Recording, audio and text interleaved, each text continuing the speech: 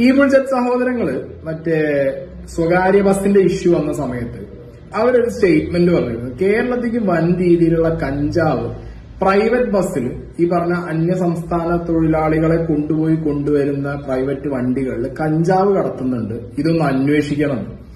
അന്ന് ആരും അന്വേഷിച്ചില്ല. ഓക്കെ അവർ അവരുടെ വണ്ടി മോഡിഫൈ ചെയ്ത ഇഷ്യൂൽ അകത്തായ ടൈമിൽ ഏഹ്? അവരെ എല്ലാവരും കൂടി ചേർന്ന് കഞ്ചാവ് ആക്കാനുള്ള ഒരു ശ്രമം ഇവിടെ നടന്നു. അവരെ കുറിച്ച് എല്ലാവരും അന്വേഷിച്ചു.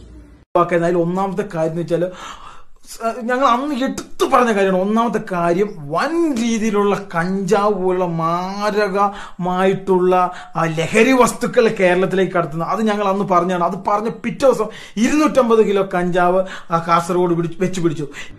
അപ്പൊ അവർ പറഞ്ഞത് എല്ലാവരും കേട്ടല്ലോ. അവരെടുത്തെടുത്ത് പറയുന്നുണ്ട്. ഇവിടെ വൻ രീതിയിലുള്ള കഞ്ചാവ് ഡ്രഗ്സ് കാര്യങ്ങളൊക്കെ ബാക്കിയുള്ള സ്റ്റേറ്റ്സ്